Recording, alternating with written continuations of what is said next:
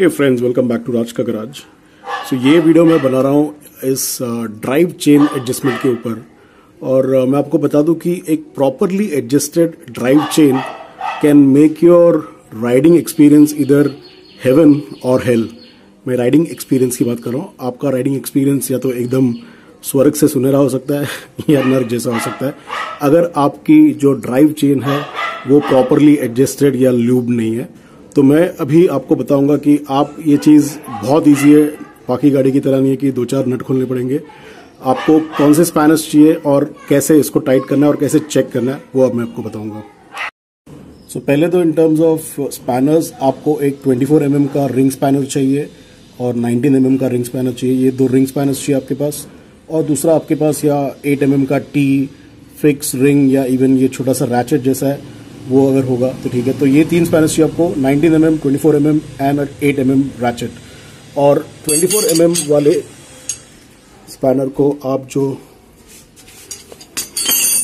ये जो मेन नट है एक्सल का एक्सल का जो मेन नट है, इसको लूज करने के लिए 24 फोर एम चाहिए। उसका जो ऑपोजिट साइड है यहाँ पे सॉरी इसे इसे होल्ड करने के लिए आपको 90 एम चाहिए। और 8 एम mm का ये जो एडजस्टिंग वाला जो नट है चेन का, इसके लिए आपको 8 एम mm का स्पैनर चाहिए। तो अभी मैं पहले बताता हूँ कि आपको एडजस्ट क्या करना है चेन कितनी टाइट होनी चाहिए, नहीं होनी चाहिए, वो पहले बताता हूँ। सो स्टेप वन आप पहले 24 फोर mm के रिंग स्पैनर से ये जो एक्सल का मेन नट है, उसको लूज करोगे। 19 एम mm के स्पैनर को आप इस तरफ़ का जो एक्सल का जो मेन रादर जो एक्सल है उसको घूमने से रोकोगे बिकॉज़ वो घूम सकता है कभी कभी सो नाइनटीन एम के स्पैनर को वहाँ पे लगाओगे और twenty four M so this is your step one then you start the adjusting adjustment rather और एडजस्टमेंट होने के बाद फिर से आपको इस 24 फोर mm के नट को फुल टाइट कर देना है और उसके बाद आप लूप करोगे। सो so, आप इस मेरे चेन को देखोगे अभी ये मैंने लूज किया है एक्सल नट इसलिए चेन थोड़ा ज़्यादा लूज हो गया है।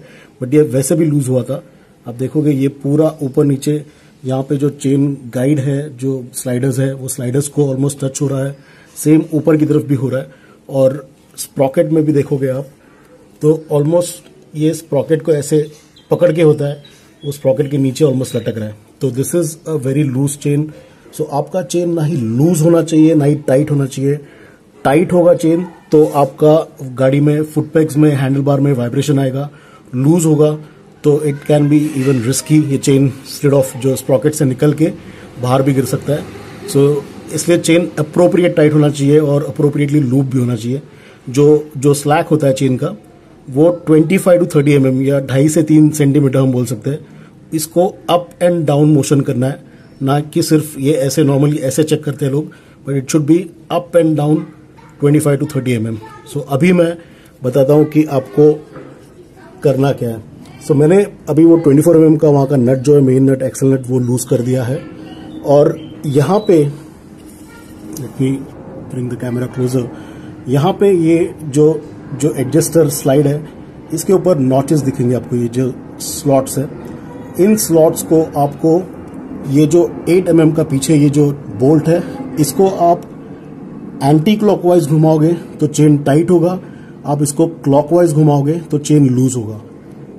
Remember again if you rotate this adjuster clockwise chain will get loose if you loosen this or you open it anti-clockwise the chain will become tight ठीक है तो आपको इसको एंटी क्लॉकवाइज घुमाना है और याद रखना है कि दोनों लेफ़्ट और राइट साइड में ये ये जो स्लाइडर होता है स्टील का ये दोनों साइड है इसके ये जो नॉचेस है ये अंदर का एक कोई आप पॉइंट को रेफरेंस पकड़ सकते हो एक तो इसको पकड़ सकते हो ये जो ऊपर है या तो अंदर की तरफ़ जो है उसको पकड़ सकते हो।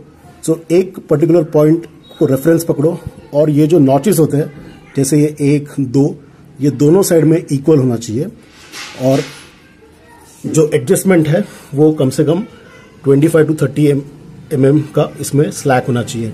तो अब मैं इसको टाइट करता हूँ बताता हूँ मैं कि कैसे वो टाइट हो रहा है और फिर आपको चेन का एक्चुअल जो मैंने टाइट करने के बाद का आपको बताता हूँ।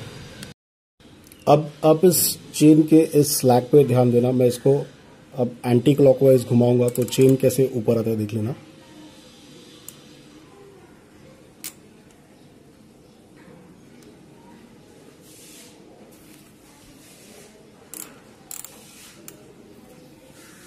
आप देख सकते हो, चेन वहाँ पे धीरे धीरे हल्के ऊपर आ रही है और अभी चेन यहाँ पे ज़्यादा टच नहीं हो रहा है। अब मैं यहाँ पे काउंट करूँगा कि ये अभी सेकेंड वाले पे है।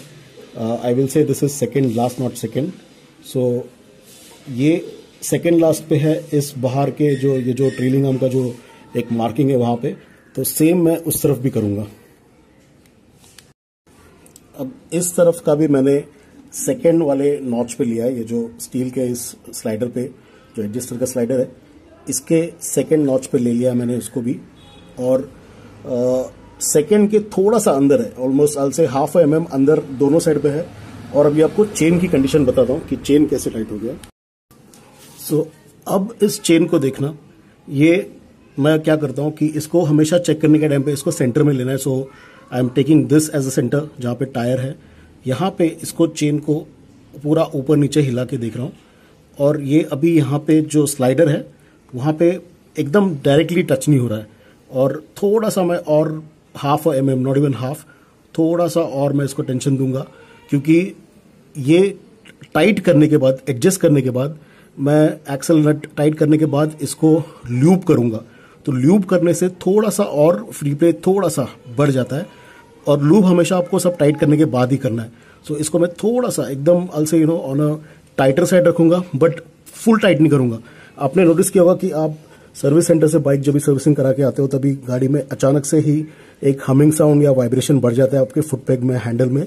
उसका रीजन ये है कि उस टाइम वो लोग सर्विस सेंटर में इस चेन को बहुत ज़्यादा टाइट कर देते हैं। वो इतना भी हिलता नहीं है। अभी जितना मैं बता रहा हूँ, इतना भी हिलता नहीं it should be this much और यही वो रीजन है जो आपको फुटपैक्स पे हैंडल बार पे वाइब्रेशन देता है। और ये वाइब्रेशन जैसे मैंने बोला आपका राइडिंग एक्सपीरियंस या तो हेवन कर सकता है या हिल कर सकता है। Chain will give you vibrations. A loose chain is risky and uh, वो आपको गियर चेंजेस में वगैरह भी बहुत ज़्यादा हार्ड हो जाता है गियर चेंजेस अगर आपका चेन ठीक से टाइट नहीं हो तो it it makes a lot of difference to your riding experience so इस तरीके से आप खुद भी कर सकते हो। बस इतना ध्यान रखना है कि दोनों साइड जो मैंने बताया अभी दोनों साइड इक्वल पॉइंट्स पे होने चाहिए। आपका चेन ऑलमोस्ट इतना लूज होना चाहिए नॉट नहीं के पूरा आपने टाइट कर दिया। अगर पूरा टाइट करोगे तो चेन जल्दी वेयर आउट भी होगा स्प्रॉकेट भी जल्दी वेयर आउट होगा और बहुत सा वाइब्रेशन आएगा। सो आई होप ये एक लॉन्ग पेंडिंग वीडियो था। बहुत लोगों ने मेरे बोला था कि चेन टाइटनिंग एडजस्टमेंट पे एक वीडियो बनाना तो ये अभी मैंने बनाया है। I hope you are you know it is useful to you अगर आपको लगता है कि ये ऐसे टाइप के वीडियोस आपको काम आते हैं तो please subscribe to the channel because मेरे C B three fifty Honda C B three fifty three fifty R S के ऊपर एक ही है एक्चुअली दोनों। बहुत से वीडियोज़ है इन्फॉर्मेटिव बट सब्सक्राइबर्स जितने मार्केट में जितने सी बी यूज़र्स है, उतने मेरे सब्सक्राइबर्स उतने भी नहीं है हाफ़ भी नहीं है। So please C B community as a you know as a member of your C B community please support the channel and subscribe to the channel thank for watching and happy riding